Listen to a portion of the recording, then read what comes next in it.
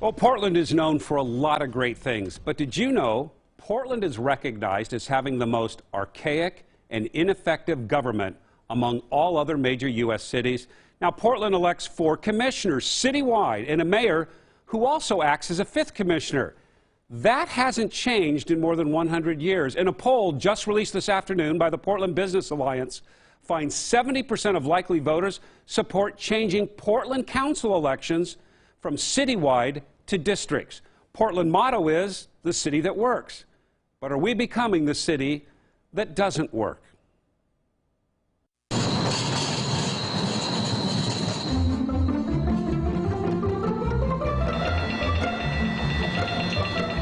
This is Portland, Oregon. More than 650,000 people live here. Many urban experts consider it one of the most livable and progressive cities in the country. And this is the Portland City Council. Those same experts will tell you Portland has the most outdated, archaic form of city government compared to all other major U.S. cities. We're one of the few cities left in the United States that has a commission form of government. For a city that prides itself on being forward thinking, Mayor Wheeler says Portland is stuck in the past. I just say, if this form of government is truly the best form of government, why isn't anybody else adopting it? And why have so many cities moved away from it? It was kind of popular around the turn of the century, but then cities decided it, it didn't really work for them and they all dropped it except for Portland. Policy analyst Kristen Eberhard says electing commissioners at large leaves certain parts of the city and minorities without a voice on the council. You have this history of underrepresentation of people on the east side, underrepresentation of renters, underrepresentation of women, people of color, um, and that's a lot due to the way that we vote. Portland is the only major city in the U.S. where we elect our city officials citywide. All other cities, they're divided up into districts. So imagine if we divide Portland into five districts. I want to run for councilor from District 1. I must live in that district. I know that district. I know the issues and problems. And the same goes for councilors elected from the other districts. From 82nd East, I don't, I don't think a lot of people feel like we're part of Portland. Jeff Rempher supported a ballot initiative to create a council elected from districts back in 2015 when his neighbors had concerns about a new apartment building under construction and traffic flow. The commissioner in charge of the Bureau uh, for Transportation wouldn't even come to our neighborhood association meeting. So who did we, who do we go to then? Neola Larson shares his frustrations. She and her neighbors have seen an influx of homeless camps, trash, and crime. Southeast Portland in general is kind of forgotten by the city. We're like the poor step cousin. All we're saying out here is we want somebody to represent us. We sort of have the worst of both worlds through this commission form of government because we ask people who are running as often as community activists to become managers of enterprises, and they typically don't have that level of experience.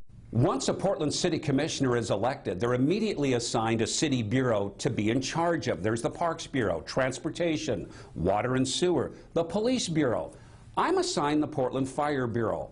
All my attention now, all my efforts are focused on my bureau. Other commissioners need help with their bureaus. Not so fast. What about my bureau? Residents have a concern in a particular neighborhood. If it doesn't directly affect my bureau, chances are it's not going to get the full attention it deserves. When you're assigned a bureau, you're in charge of that bureau and you're sort of looking at that bureau maybe to the exclusion of other things that are happening in the city. Former Commissioner Steve Novick saw it firsthand. The worst part of it is this idea of assigning bureaus to commissioners. Because when you assign a bureau to a commissioner, two things happen.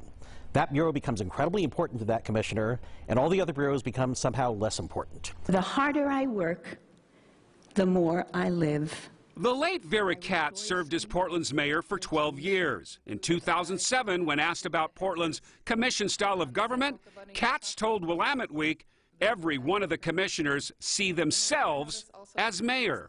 Why is Portland so stuck on this, is it what, 100 years old form of government that we've got?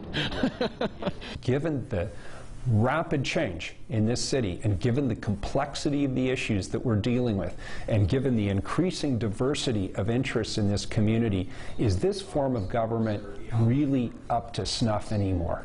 I have serious questions about whether it is.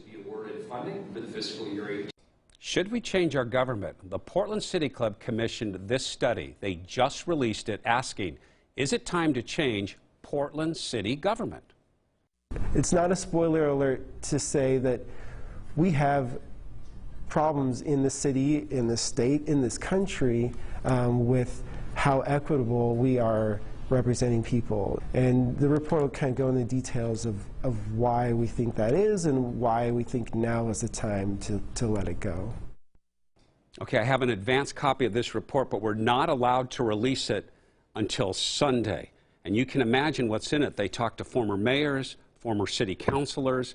So uh, this will be very interesting when they release this. It'll be on our website on Sunday, so you can check that out. We'll also be interviewing the person, one of the people who worked on this report.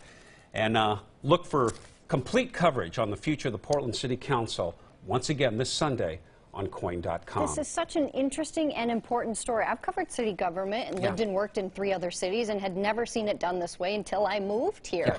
Now, as far as the history of this, it has roots in what, Galveston, Texas? We have roots in our city government in Galveston, Texas. This commission form of government was invented in Galveston, Texas, so it's often called the Galveston hmm. style of government. And guess what? They dropped it in 1960, almost 60 years ago, because they said it doesn't work. And most other U.S. major cities dropped it in the 1940s. Here in Portland, we have clung on to it. And that's why this report is so important from the City Club. Once again, we'll release, you can read it. We'll, mm-hmm. we'll release it Sunday on our Oh, website, that'll be interesting. Good story, Jeff. Thank you very much.